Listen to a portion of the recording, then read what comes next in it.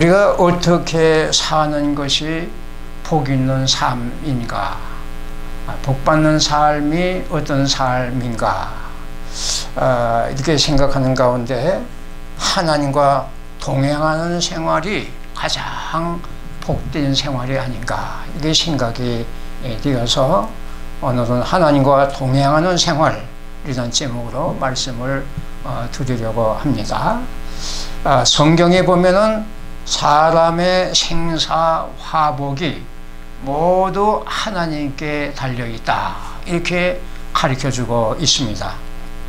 3일상 2장 6절 이하에 보면은 여호와는 죽이기도 하시고 살리기도 하시며 수월에 내리기도 하시고 거기에서 올리기도 하시는도다. 여호와는 가난하게도 하시고 부하기도 하시며 낮추기도 하시고 높이기도 하시는 도다. 가난한 자를 진토에서 일으키시며 빈궁한 자를 구름더미에서 올리사 귀족들과 함께 앉게 하시며 영광의 자리를 차지하게 하시는도다. 또 역대상 29장 12절에 보면은 부와 귀가 주께로 말미암고 또 주는 만물의 주제자가 되사 손에 권세와 능력이 있사오니 모든 사람을 크게 하심과 강하게 하심이 주의 손에 있나이다. 이렇게 기록이 되어 있습니다.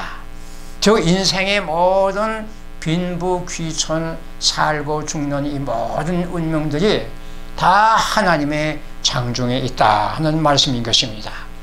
그러므로 우리가 복의 근원이 되시는 여호와 하나님을 모시고 함께 그 하나님과 동행하는 삶이 가장 복되고 또 안전하고 즐거운 생활이다 이렇게 할 수가 있겠습니다. 오늘 본문, 본문 말씀에 보면은 에녹은 65세에 무도셀라를 낳았고 무도셀라를 낳은 후 300년을 하나님과 동행하며 자녀를 낳았으며 그는 365세를 살았더라. 에녹이 하나님과 동행하더니 하나님이 그를 데려가심으로 세상에 있지 아니하였더라. 이렇게 기록이 되어 있습니다. 즉 에녹이라고 하는 사람은 300년 동안 하나님과 동행하는 삶을 살다가 하나님이 그를 데려가심으로 죽음을 보지 않고 천국으로 집중하셨다 하는 말씀인 것입니다. 아, 이 땅에서 영원 어, 하나님과 온전히 동행하는 생활을 살다가 영원히 천국에 가서 하나님과 함께 사는 동행하는 삶을 사는 이것보다 더 큰 축복이 어디가 있겠습니까? 우리 모두 애목처럼 이 땅에서 하나님과 동행하는 삶에서 동행하며 하는 삶을 살다가서 우리가 세상 떠날 때에는 천국에 들어가서 영원토록 하나님과 함께 사는 축복을 모두 받으시기를 바랍니다. 아멘. 그러면 에녹이 하나님과 동행하는 삶을 살았다는 것은 무슨 뜻인가? 첫째로 11에서 11장 거기 보면은 에녹 그 에녹이라는 사람이 또 나오는데 하나님이 계시는 것을 믿고 하나님을 찾는 생활을 하였다. 이렇게 기록이 되어 있습니다. 저 히브리서 11장 5절 6절에 보면은 믿음으로 에녹은 죽음을 보지 않고 옮겼으니 옮겨졌으니 하나님이 그를 옮기심으로 다시 보이지 아니하였더라. 그는 옮기기 전에 하나님을 기쁘시게 하는 자라 하는 증거를 받았느니라. 믿음이 없이는 하나님을 기쁘시게 하지 못하나니 하나님께 나아가는 자는 반드시 그가 계신 것과 또한 그가 자기를 찾는 자들에게 상 주심을 믿어야 할지니다. 다시 말하자면 에녹은 이 땅에 사는 동안 하나님을 기쁘시게 하는 삶을 살았다고 했습니다. 근데 기쁘시게 하는 삶이 어떤 삶이냐? 하나님이 계신 것을 믿고 그 하나님을 찾는 생활 이것을 에녹이 하였다는 것입니다. 그래서 하나님이 기뻐하는 사람이 되었다. 이렇게 말씀하고 있는 것입니다. 그러므로 우리가 하나님과 동행하는 삶을 살려면 첫째로 하나님을 믿어야 됩니다. 살아계신 하나님이 계시는 것을 믿고 그 하나님을 찾는 삶 이것이 하나님과 동행하는 첫 번째 단계인 것입니다. 하나님은 성경에 보면 하나님은 영이시며 어디든지 계시는 하나님이라고 가르쳐 주고 있습니다. 근데 우리 보통 사람들이 하나님이 눈에 보이지 않지 않습니까? 그러니까 하나님이 없다고 하는 사람들도 세상에 많이 있습니다. 아, 세상에는 하나님이 계신다고 믿는 사람이 있고 하나님이 없다고 생각하고 사는 사람들이 있습니다. 이 두 종류의 사람은 큰 차이가 있습니다. 하나님이 계신 것을 믿고 사는 사람은 항상 하나님 앞에서 두려운 마음을 가지고 경건하게 살아갈 것입니다. 그렇지만 하나님을 믿지 않는 사람들은 자기 멋대로 그래서 사람 피해서 많은 죄를 짓고 어, 이렇게 죄 가운데서 살게 되는 것입니다. 잠언 9장 10절에 보면은 여호와를 경외하는 것이 지혜의 근본이요 거룩하신 자를 아는 것이 명철입니다. 이렇게 기록이 되어 있습니다. 다시 말하면 여호와 하나님을 믿고 두려운 마음으로 하나님을 섬기면서 그 앞에 경건하게, 경건, 경건하게 사는 삶 이것이 지혜 있는 삶이라는 것입니다. 그리고 하나님이 어떤 분인가를 아는 것이 바로 명철이다. 이렇게 기록되어 있는 것입니다. 또 시편 14편 1절에 보면 어리석은 자는 그 마음에 이르기를 하나님이 없다 하는도다. 세상에서 제일 어리석은 사람이 하나님이 없다. 어디 눈에 보이 어떻게 하나님이 어떻게 믿을 수 있는가 보이지도 않는데 하나님이 없다고 여기서 사는 사람이 제일 어리석고 믿는 사람이다. 이렇게 가르쳐 주고 있습니다. 이 세상에는 지식이 많은 사람들이 예, 많이 있는데 하나님이 없다고 하면서 사는 사람이 또 많습니다. 지식은 많은데 세상 지식은 많고 박사 몇 개씩 따고 유명한 그런 박사들이 많은데 진짜 영적으로는 하나님이 없다고 생각하고 사는 사람들이 많이 있습니다. 이 어리석은 사람이에요. 하나님의 입장에서 보면 그 사람은 아주 어리석은 사람에 속한다고 하는 것입니다. 어, 작년 3월에 에, 60, 에, 76세로 세상을 떠난 영국의 천재 물리학자 아, 스티븐 호킹 박사라고 하는 사람이 있습니다. 아, 이 사람은 아인슈타인 다음가는 그런 물리학자다. 이렇게 세계적으로 유명한 사람입니다. 아, 그는 신이 없다. 이렇게 말하면서 세상에 누구도 우주를 다스리지 않는다 하면서 자연 법칙에 의해서 모든 것이 되어진다. 이렇게 주장을 했습니다. 그는 어, 루케이라고 하는 병에 걸려서 전신 마비가 되어서 휠체어를 타고 다니면서 강의도 어, 하여다가 어, 얼마 전에 에, 죽고 말았습니다. 이 호킹 박사는 세계적으로 유명한 박사이지만은 하나님이 만든 자연 법칙, 법칙만 연구해서 어, 그 어, 많은 지식을 쌓았지만은 그 자연 법칙을 만드신 하나님은 알지 못했습니다.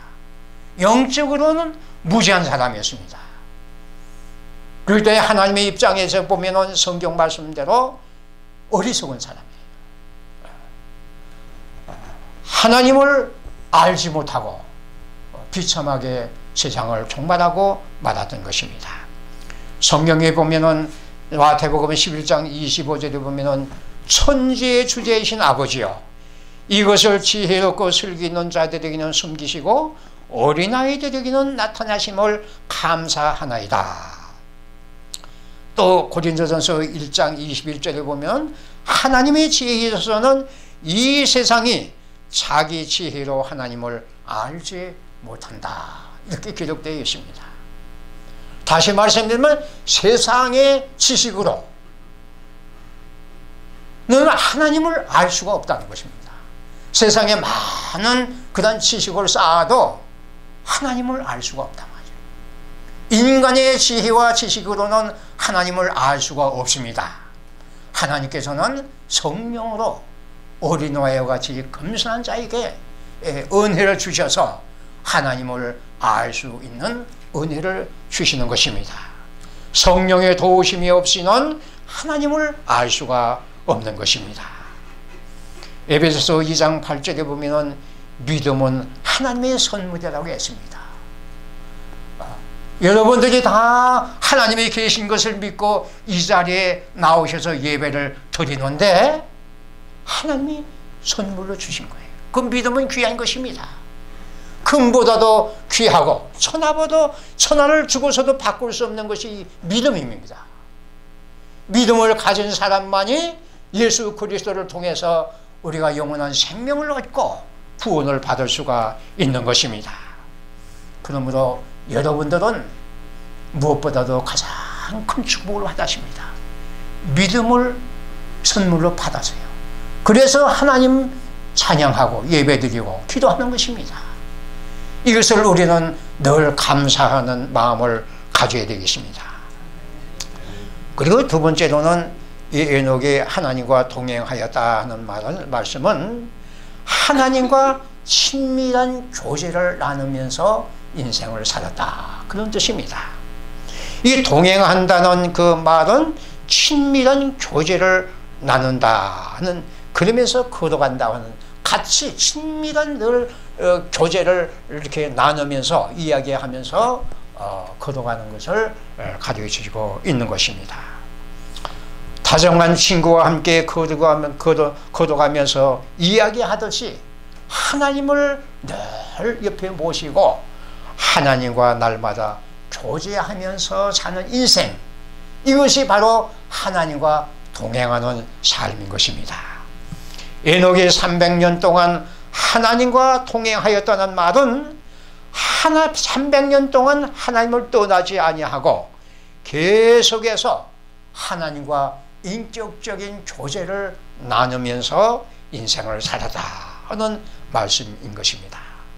다시 말씀드리면 에녹은 늘 하나님 계신 것을 믿을 뿐만 아니라 그 하나님께 재단을 쌓고 또 기도하고 오늘날 우리로 말하게 되면 하나님께 예배를 드리고 말씀 묵상하고 기도하면서 늘 하나님과 교제하는 삶을 살았다. 그런 내용이 되겠습니다. 성경에 보면은 우리가 예수 그리스도를 주님으로 영접을 하면은 아, 그리스도와 함께 결혼한 것과 같다. 그래서 예수님이 우리 안에 계시고 우리는 예수 안에 격화해서 연합한 연합한 삶이 되는 것입니다. 그래서 부부가 결혼해서 한 몸이 되는 것처럼 우리가 예수 믿는 사람은 예수님이 우리의 신랑이, 신랑이 되시고 우리는 예수님의 신부가 되는 것입니다. 그래서 한 몸이 됩니다. 그래서 예수님이 내 안에 계시고 내가 예수님 안에 있어서 늘 교제하면서 삶을 살게 되는 것이 신앙생활인 것입니다. 음.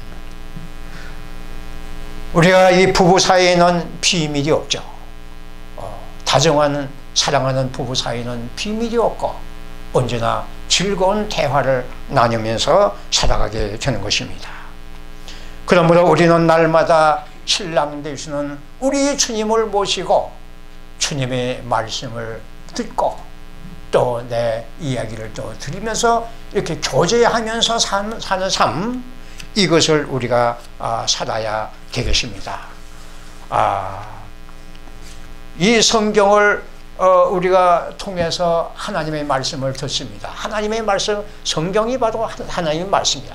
그러니까 하나님의 말씀을 늘 묵상하고 또 우리의 여러 가지 어려운 사정이 있으면 기도하고 또 어려운 일을 어, 또 어, 결정할 때에도 하나님의 뜻을 묻고 어, 슬픈 일을 당할 때도 하나님 앞에 나가 호소하고 우리가 어떤 죄를 범했을 때에는 또 하나님 앞에 자백하며 기도를 드리고 늘 하나님과 교제하면서 기도하면서 예배드리면서 교통하는 삶 이것이 바로 어, 하나님과 동행하는 삶이 되는 것입니다.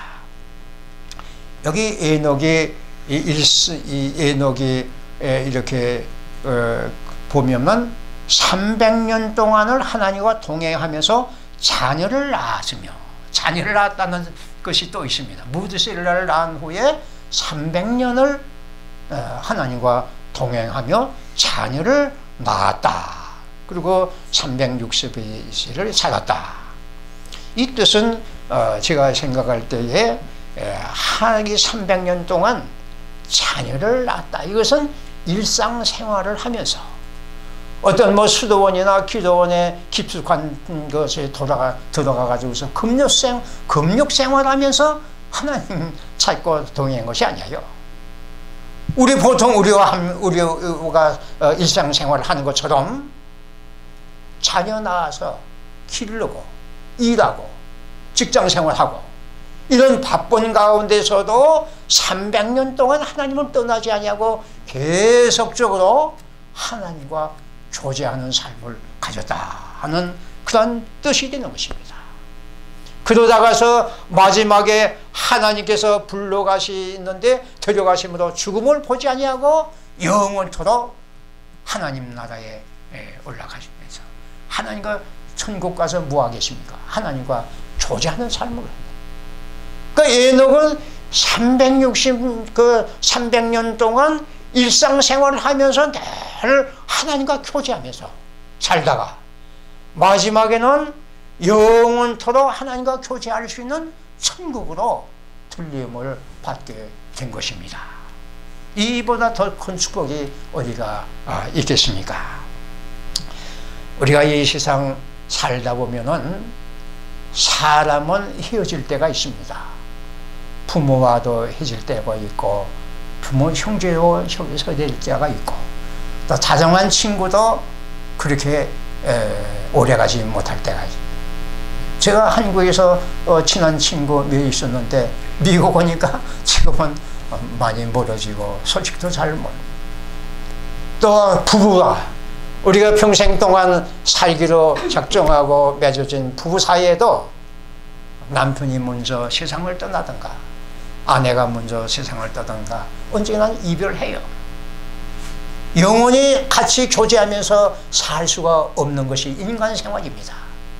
그러나 하나님은 하나님은 이 땅에서도 교제하면서 살다가 영원토록 우리가 천국에 가서도 교제할 수 있는 삶이 산 것이 우리의 하나님과 우리 주님과의 교제하는 삶이 되는 것입니다. 아, 영생이라고 하는 것은 바로 주님과 사랑의 교제를 나누는 삶 이것이 영생이라고 생각합니다. 그래서 생명이 오래 사는 것이 아니야. 우리를 사랑하시는 그 주님과 더불어 교제하면 삶. 그러니까 영생은 이 땅에서부터 시작되는 거예요. 예수 믿고서 우리가 예수님 모시고 교제하는 사랑의 교제를 이렇게 나누면서 살다가 우리의 죽으면은 그 영혼이 주님 나라 주님께로 가는 것입니다. 그리고 우리 육신의 몸도 또 땅 속에 묻혔지만은 마지막 날에 주님 재림하실 때에 그 육신도 썩었던 육신도 다시 새로운 영체로 부활해서 영역이 합해서 영원토록 주님과 교제할 수 있는 천국의 삶이 그 영생하는 삶이다. 그 생각이 예, 우리가 생각할 수가 있는 것입니다. 아, 이처럼 여러분들은 이 땅에서 하나님과 동행하는 삶을 사는 놀라운 축복을 받으시기를 바랍니다. 그런데 이 하나님과 동행하는 사람은 그럼 어떤 축복을 받는가? 뭐 많이 있겠지만은 두 가지만 말씀드립니다. 첫째로는 거룩하신 그 하나님의 형상을 담게 되는 것입니다. 늘 하나님 가까이 모시고 하나님과 교제하는 삶을 살면은 하나님 닮게 되는 거예요. 잠언 13장 20절에 보면은 지혜로운 자와 동행하면 지혜를 얻고 미련한 자와 사귀면 해를 받느니라. 지혜로운 사람 사귀면 지혜를 거기서 배우고 듣게 되지만은 나쁜 친구 사귀면은 나쁜 거 배우고 나쁜 친구 닮게 되는 것입니다.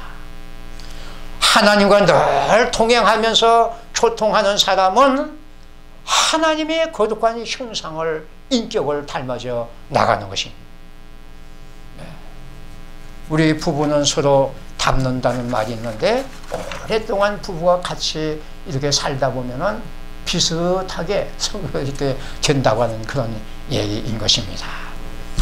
아, 제가 아, 존경하는 목사님 중에 한 분이 그 김수홍 목사님 어, 여기서 목회하시다가 아, 한국 나가셔서 합동 어, 신학의 석자 교수로 지낸 분인데 그분은 추석을 많이 써서 신약은 다 완성을 했습니다.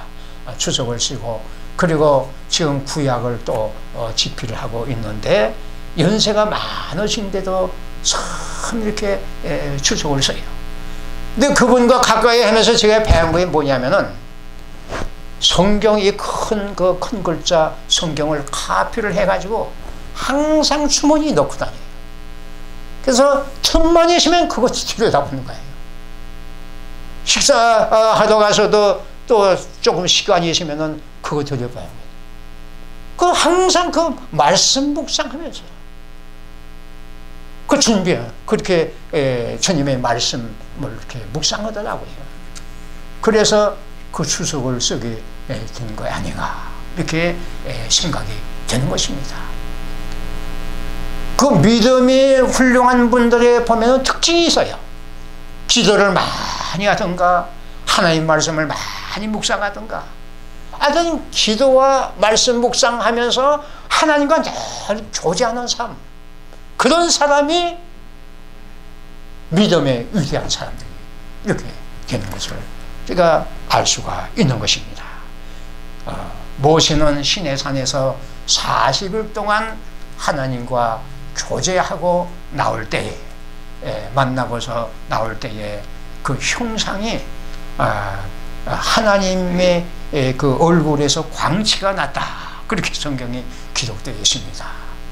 기도 많이 하고 하나님 말씀을 묵상하면서 이렇게 사는 사람은 그 얼굴에 경건의 모습이 나타나고 광채가 나고 어, 예수 하나님의 형상을 닮아져 나가는 것을 볼 수가 있습니다.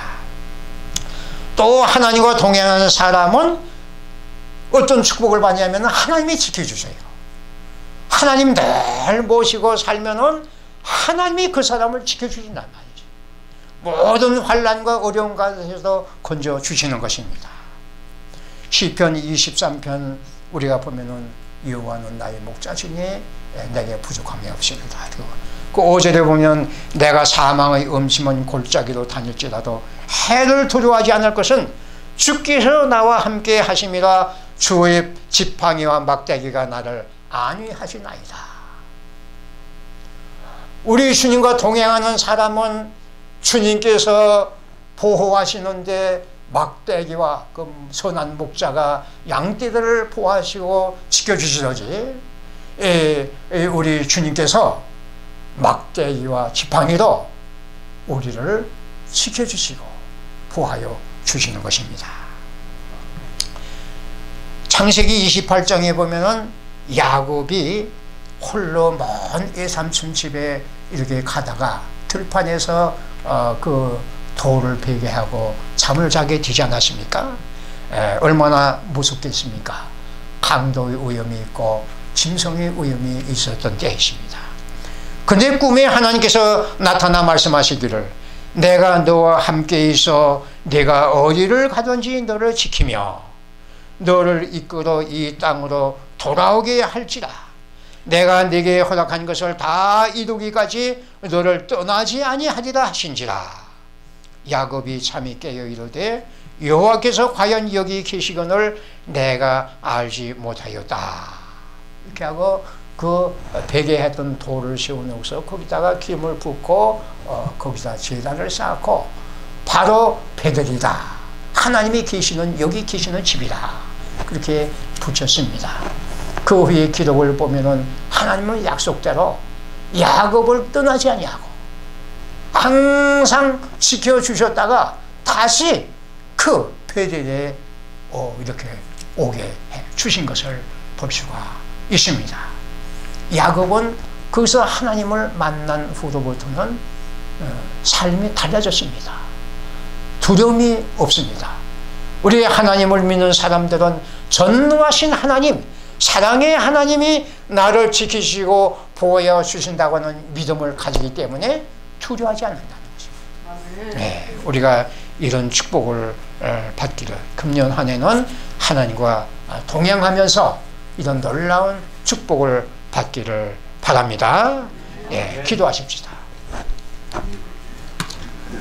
하늘에 계신 아버지 하나님 새해를 맞이하여서 저희들도 예녹처럼 어, 일생 동안 앞으로 남은 여생 동안 하나님과 온전히 동행하는 삶을 살다가 주님 앞에 가기를 원합니다. 아버지 하나님 늘 주님을 모시고 주님과 교제하면서 날마다 하나님의 말씀 묵상하고 기도하고 예배드리면서 살아갈 수 있도록 축복을 내려 주시옵시고 마지막에는 에녹처럼 천국에 가서 영원토록 하나님과 교제하는 축복을 저희들이 다 받게 하여 주시옵소서 우리 주 예수님의 이름으로 기도하옵나이다. 아멘.